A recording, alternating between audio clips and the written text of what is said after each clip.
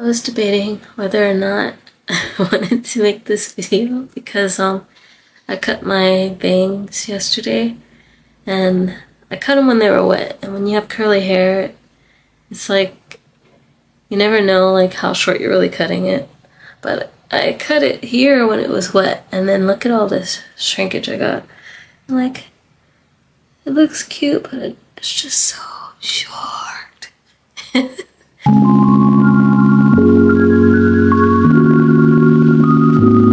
and I'm like looking in the viewfinder and trying not to over there because I'm like, are people really looking at my bangs? Because when I went out today, I'm like, when people are like, oh, good morning, I'm just like thinking in my head, are they like, good morning? Dang, look at those bangs. Who cut them? They're so short. And um, no girl.